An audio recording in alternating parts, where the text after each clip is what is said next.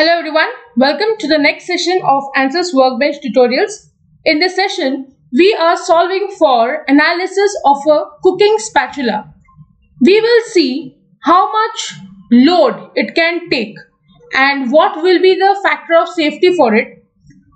If you use a material wherein you have the alternating stress value in it, then you can do the fatigue analysis as well. For example, if you have a spatula made of structural steel, but suppose if I use a material like stainless steel, then it will be difficult for me to find. So let's see how the analysis can be done. We'll first go to static structural and double click on it.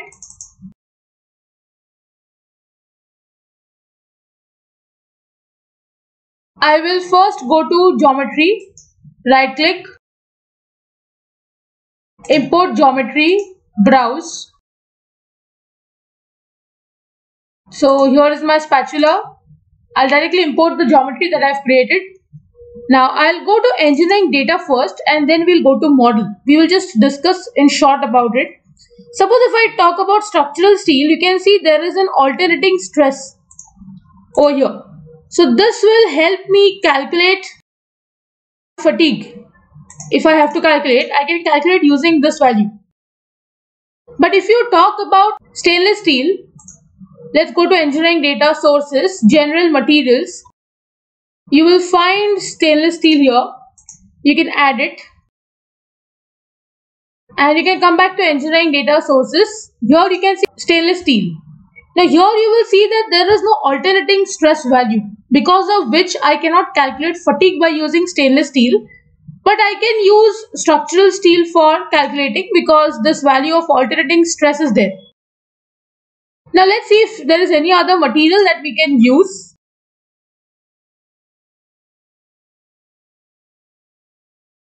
Let's talk about aluminium alloy. So here again we have the alternating stress. So this is in semi-log form. And let's cut, this will be in pascals only.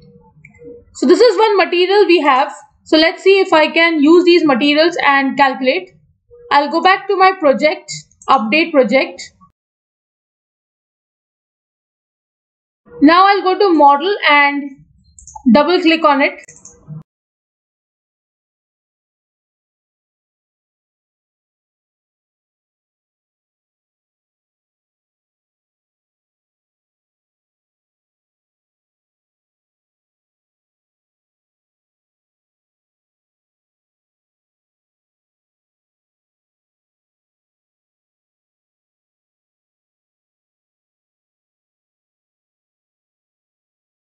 Okay, this is a spatula. I'll first go to mesh and change the sizing and relevance center to fine and update. So my meshing is done. Now I will go to analysis setting. I need to fix up this end and I need to apply some load from here. That's how you use the spatula. What we are doing is we are just trying to see what would be the factor of safety of this spatula we would also try to see if we can calculate the fatigue analysis for this spatula. So we can know as to how many cycles or say how many flips you can do for a particular patties or a burger by using this kind of a spatula.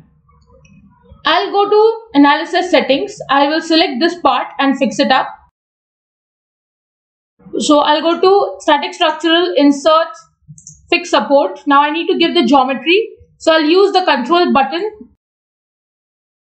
between the selection of these faces.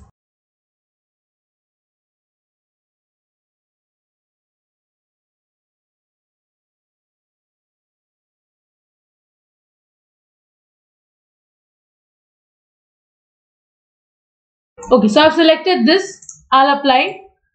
This is my fixed end. Now I'll be applying some load from here so I'll write insert force on this surface, apply. Vector will be changed to component. Now you can see this direction is x. So in the x direction towards the spatula, let me say I'll apply 100 Newton force. Now I'll go to solution insert deformation total. I will insert stress tool max shear stress.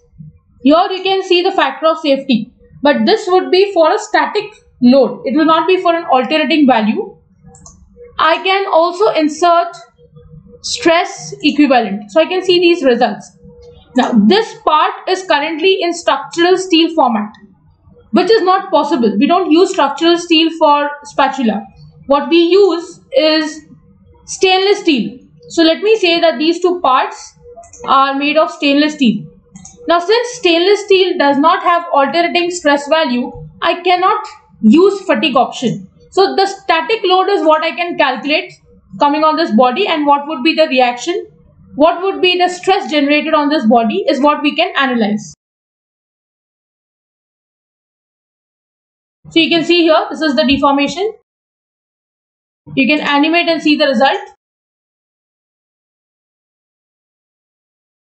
2.7 mm will be the displacement on this end. This end is fixed.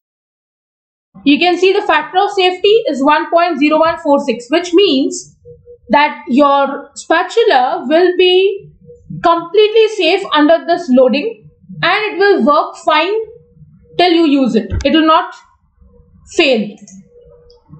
When I talk about equivalent stress, this is the equivalent stress which is generated on this body, 188 megapascal. Now since I have used stainless steel, the maximum stress on this body can be checked from engineering data. For stainless steel, your ultimate tensile strength is here. Let me see in megapascal, it is 586 and here the value obtained is 188 which means it is quite less as compared to the maximum value which means your spatula is absolutely safe to use till you wish to use it. Now let's talk about another material that is aluminium alloy. Let's check if we can get a fatigue value here. So let me say this part 1 is made of aluminium alloy and so is the second one. Now let me try to insert fatigue tool. I want to see the life and I also want to see the safety factor. Let's see if I get the solution.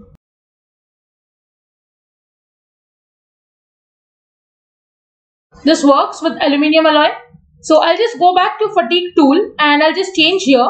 I want to use Goodman theory. You can use any other theory as well and this is of fully reversed type if you want you can change it to zero based because generally when you're using a spatula you don't have a reversible kind of a loading. It has a zero to max value. So i'll go for zero based. You can see here there is no change because this much portion is for static loading. That is you apply the load and it is there. Fatigue means you apply the load remove it apply the load remove it and this continues. So let's see if we can do the fatigue analysis for the spatula using aluminium alloy. So here I can see the life. This shows the minimum number of cycles for which you can use the spatula and here you can see the safety factor. It is less than 1 which indicates that there will be failure but not immediately after these number of cycles that you have used it for. And this is the factor of safety 1.33 using aluminium alloy this is your total deformation for aluminium alloy and this is the equivalent stress which is generated for this material. It is quite less as compared to, we'll just check for aluminium alloy. The ultimate tensile strength over here is 310 and in the solution the value is 185 so it is quite less. So your spatula will work fine till the number of cycles that we have decided for that and after that it will rupture and break.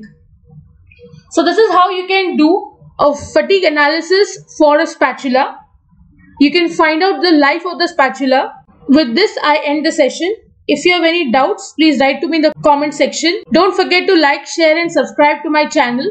Hit the bell icon for latest video updates. See you in the next session. Thank you.